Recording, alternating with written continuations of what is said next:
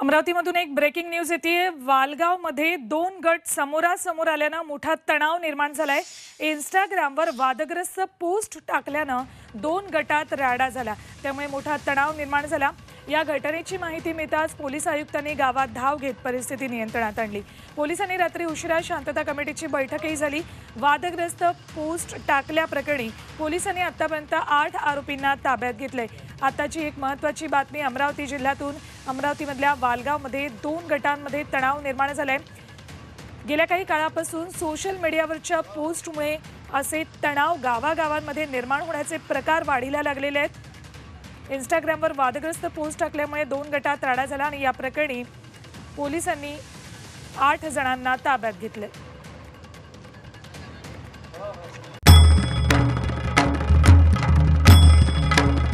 भंडाऱ्याची उधळण म्हणजे